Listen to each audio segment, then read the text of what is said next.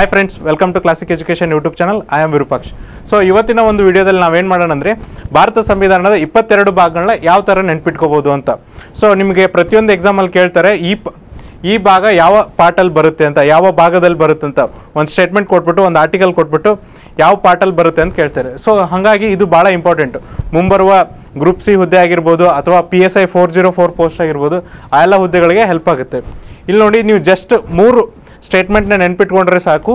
ನೀವು ಈಸಿಯಾಗಿ ಇಪ್ಪತ್ತೆರಡು ಭಾಗಗಳನ್ನ ನೆನ್ಪಿಟ್ಕೋಬೋದು. ಇದರಲ್ಲಿ ಪ್ರತಿಯೊಂದು ಕ್ಯಾಪಿಟಲ್ ವರ್ಡ್ ಇದೆಯಲ್ಲ, ಪ್ರತಿಯೊಂದು ಪಾರ್ಟ್ನ ರೆಪ್ರೆಸೆಂಟ್ ಮಾಡುತ್ತೆ. ಫಸ್ಟ್ ಸ್ಟೇಟ್ಮೆಂಟ್ ಏನಪ್ಪ ಅಂದರೆ you can fly directly from U S to U P to meet C S R ಅಂತ. ಸೆಕೆಂಡ್ ಸ್ಟೇಟ್ಮೆಂಟ್ ಏನಂದರೆ ಫು fruit tasted sweet to eat something extraordinary ಅಂತ. ಥರ್ಡ್ ಬಂದು eat Maggi as a tasty snack ಅಂತೇಳಿ. So ಈ ಮೂರು statement ನೀವು ನೆನ್ಪಿಟ್ಕೊಂಡ್ರೆ ಸಾಕು ಈಸಿಯಾಗುತ್ತೆ ಇವಾಗ ನೋಡ್ರಿ ಫಸ್ಟ್ ನೋಡ್ರಿ ಇಲ್ಲಿ ಇವು ಪಾರ್ಟ್ ಒನ್ ರೆಪ್ರೆಸೆಂಟ್ ಮಾಡಿದರೆ ಸಿ ಪಾರ್ಟ್ ಟು ಮಾಡುತ್ತೆ. F part three D part four ಇದು ಎಫ್ ಪಾರ್ಟ್ ಫೋರ್ ಎ ಬರುತ್ತೆ. ನೆಕ್ಸ್ಟ್ ಫೈ ಸಿಕ್ಸ್ ಸೆವೆಂತ್ ಪಾರ್ಟ್ನ ನಾವು ಏನು ಮಾಡಿದ್ದೀವಿ ಅಂದರೆ ರಿಮೂವ್ ಮಾಡಿದ್ದೀವಿ ಏಳನೇ ಕಾನ್ಸ್ಟಿಟ್ಯೂಷನಲ್ ಅಮೆಂಡ್ಮೆಂಟ್ ಮೂಲಕ ಹತ್ತೊಂಬತ್ತು ನೂರ ಐವತ್ತಾರಲ್ಲಿ ಅದೇ ಥರನಾಗಿ ಯು ಅಂದರೆ ಪಾರ್ಟ್ ಏಟ್ ಆಗುತ್ತೆ. ಪಿ ಅಂದರೆ ಪಾರ್ಟ್ ನೈನ್ ಆಗುತ್ತೆ.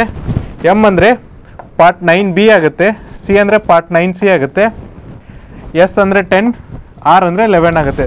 ಸೊ ಈ ಒಂದು ಸ್ಟೇಟ್ಮೆಂಟಲ್ಲಿ ನೀವು ಲೆವೆನ್ ಪಾರ್ಟ್ಸ್ ನೆನ್ಪಿಟ್ಕೊಂಡ್ರೆ ನೆಕ್ಸ್ಟ್ ಸ್ಟೇಟ್ಮೆಂಟಲ್ಲಿ ನೀವು ಎಫ್ ಪಾರ್ಟ್ ಟ್ವೆಲ್ವ್ನ ರೆಪ್ರೆಸೆಂಟ್ ಮಾಡುತ್ತೆ ಟಿ ಪಾರ್ಟ್ ತರ್ಟೀನ ರೆಪ್ರೆಸೆಂಟ್ ಮಾಡುತ್ತೆ S part fourteen T again part fourteen A represent ಮಾಡುತ್ತೆ E part fifteen next S part sixteen represent ಮಾಡುತ್ತೆ, ಆಮೇಲೆ ಓ ಪಾರ್ಟ್ ಸೆವೆಂಟೀನ ರೆಪ್ರೆಸೆಂಟ್ ಮಾಡುತ್ತೆ.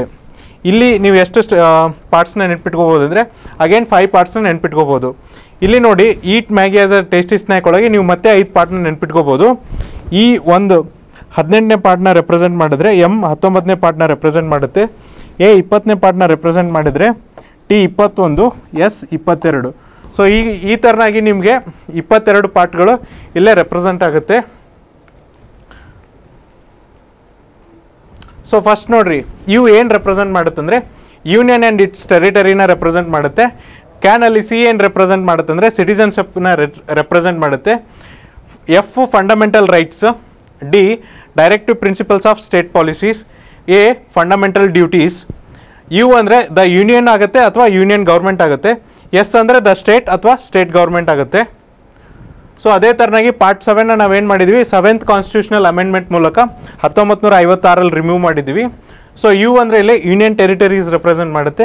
ಪಿ ಅಂದರೆ ಪಂಚಾಯತ್ ಎಂ ಅಂದರೆ ಮುನ್ಸಿಪಾಲಿಟೀಸ್, ಸಿ ಅಂದರೆ ಕೋಆಪರೇಟಿವ್ ಸೊಸೈಟೀಸ್ ಎಸ್ ಅಂದರೆ scheduled and tribal areas R ಅಂದರೆ relation between union states so ಅದೇ ಥರನಾಗಿ ಎಫ್ ಅಂದರೆ finance properties and suits T ಅಂದರೆ ಟ್ರೇಡ್ ಆ್ಯಂಡ್ ಕಾಮರ್ಸ್ ಎಸ್ ಅಂದರೆ service under union and the states T ಅಂದರೆ tribunals E ಅಂದರೆ election S ಅಂದರೆ special provision relation to certain areas O ಅಂದರೆ official language ಅದೇ ಥರನಾಗಿ ಇ ಅಂದರೆ ಎಮರ್ಜೆನ್ಸಿ ಪ್ರೊವಿಷನ್ಸ್ ಎಂ ಅಂದರೆ ಮಿಸ್ಲೇನಿಯಸ್ ಎ ಅಂದರೆ amendment of the constitution T ಅಂದರೆ temporary transitional and special provisions S ಅಂದರೆ ಶಾರ್ಟ್ ಟೈಟಲ್ಸ್ ಸೊ ಇದು ಇನ್ ಡೀಟೇಲ್ ಆಗಿ ನೀವು ಬ್ರೀಫಾಗಿ ನೆನ್ಪಿಟ್ಕೋಬೋದು ಇಲ್ಲಿ ಯು ಏನು represent ಮಾಡುತ್ತಂದರೆ union and its territories C ಅಂದರೆ ಸಿಟಿಜನ್ಶಿಪ್ ಎಫ್ ಅಂದರೆ ಫಂಡಮೆಂಟಲ್ ರೈಟ್ಸ್ ಡಿ ಅಂದರೆ directive principles of state policies F ಅಂದರೆ ಅಗೇನ್ ಫಂಡಮೆಂಟಲ್ ಡ್ಯೂಟೀಸ್ ಯು ಅಂದರೆ ದ ಯೂನಿಯನ್ ಎಸ್ ಅಂದರೆ ದ ಸ್ಟೇಟ್ಸ್ ಸೆವೆಂತ್ ಪಾರ್ಟ್ನ ನಾವು ರಿಮೂವ್ ಮಾಡಿದ್ದೀವಿ ಸೆವೆಂತ್ ಕಾನ್ಸ್ಟಿಟ್ಯೂಷನಲ್ ಅಮೆಂಡ್ಮೆಂಟು ಹತ್ತೊಂಬತ್ತರ ಐವತ್ತಾರಲ್ಲಿ ಸೊ ನೆಕ್ಸ್ಟ್ ಯು ಏನಂದರೆ ಏಯ್ಟ್ ಪಾರ್ಟ್ನ ರೆಪ್ರೆಸೆಂಟ್ ಮಾಡುತ್ತೆ. Union territories P the panchayat represent ಮಾಡುತ್ತೆ. ಒಂಬತ್ತನೇ ಪಾರ್ಟು ಎಂ ಏನು ಮಾ ರೆಪ್ರೆಸೆಂಟ್ ಮಾಡುತ್ತೆ ಅಂದರೆ ಮುನ್ಸಿಪಾಲಿಟೀಸ್ ರೆಪ್ರೆಸೆಂಟ್ ಮಾಡುತ್ತೆ.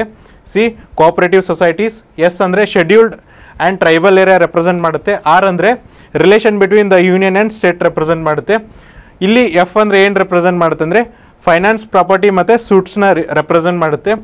ಟಿ ಇಲ್ಲಿ ಏನು ರೆಪ್ರೆಸೆಂಟ್ ಮಾಡುತ್ತೆ ಅಂದರೆ ಟ್ರೇಡ್ ಆ್ಯಂಡ್ ಕಾಮರ್ಸ್ ರೆಪ್ರೆಸೆಂಟ್ ಮಾಡುತ್ತೆ. ಇಲ್ಲಿ ಎಸ್ ಏನು ರೆಪ್ರೆಸೆಂಟ್ ಮಾಡುತ್ತೆ ಅಂದರೆ special services under union and states ಮಾಡುತ್ತೆ. ಇಲ್ಲಿ ಟಿ ಅಂದರೆ ಏನಂದರೆ ಟ್ರಿಬ್ಯುನಲ್ ಆಗುತ್ತೆ. ಇಲ್ಲಿ ಇ ಅಂದರೆ ಏನಾಗುತ್ತೆ ಅಂದರೆ ಎಲೆಕ್ಷನ್ಸ್ ಆಗುತ್ತೆ. ಇಲ್ಲಿ ಎಸ್ ಅಂದರೆ special provisions related to certain areas ಆಗುತ್ತೆ. ಇಲ್ಲಿ ಓ ಅಂದರೆ ಅಫಿಷಿಯಲ್ಸ್ ಲ್ಯಾಂಗ್ವೇಜ್ ಇಲ್ಲಿ ಇ ಅಂದರೆ ಎಮರ್ಜೆನ್ಸಿ ಆಗುತ್ತೆ. ಎಂ ಅಂದರೆ ಮಿಸ್ಲೇನಿಯಸ್ ಪಾರ್ಟ್ಸ್ ಆಗುತ್ತೆ. ಎ ಅಂದರೆ ಅಮೆಂಡ್ಮೆಂಟ್ ಟು ದ ಕಾನ್ಸ್ಟಿಟ್ಯೂಷನ್ ಆಗುತ್ತೆ. ಟಿ ಅಂದರೆ ಟೆಂಪ್ರವರಿ ಮತ್ತು ಟ್ರಾನ್ಸಿಷನಲ್ ಪವರ್ ಆಗುತ್ತೆ. ಎಸ್ ಅಂದರೆ ಶಾರ್ಟ್ ಟೈಟಲ್ ಆಗುತ್ತೆ. ಇದೇ ಥರನಾಗಿ ನೀವು ನೆನ್ಪಿಟ್ಕೊಂಡ್ರೆ ಇಪ್ಪತ್ತೆರಡು ಭಾಗಗಳನ್ನ ನೀವು ಈ ಮೂರು ಸ್ಟೇಟ್ಮೆಂಟ್ಗಳ ಜೊತೆಗೆ ಈಸಿಯಾಗಿ ನೆನ್ಪಿಟ್ಕೋಬೋದು ನೀವು ಇದನ್ನು ಒಂದು ಬಿಟ್ಟು ನಾಲ್ಕು ಸರಿ ಪ್ರಾಕ್ಟೀಸ್ ಮಾಡಿದ್ರೆ ನಿಮ್ಗೆ ನೆನ್ಪುಳಿಯುತ್ತೆ. ಸೊ ಈ ಥರನಾಗಿ ಮಾಡೋದ್ರಿಂದ ನಿಮಗೆ ಎಕ್ಸಾಮಲ್ಲಿ ಈಸಿಯಾಗಿ ಇಪ್ಪತ್ತೆರಡು ಭಾಗಗಳನ್ನ ಮೆಮರೈಸ್ ಮಾಡ್ಬೋದು. ಸೊ ಇದೇ ಥರನಾಗಿ ಮತ್ತೊಂದಿಷ್ಟು ಟ್ರಿಕ್ಸ್ನೊಂದಿಗೆ ನಿಮ್ಮ ಮುಂದಿಗೆ ಬರ್ತೀನಿ. ಅಲ್ಲಿವರೆಗೂ ನೋಡ್ತಾ ಇರಿ Classic Education YouTube channel thank you Please subscribe to our channel and press the bell button for latest educational videos.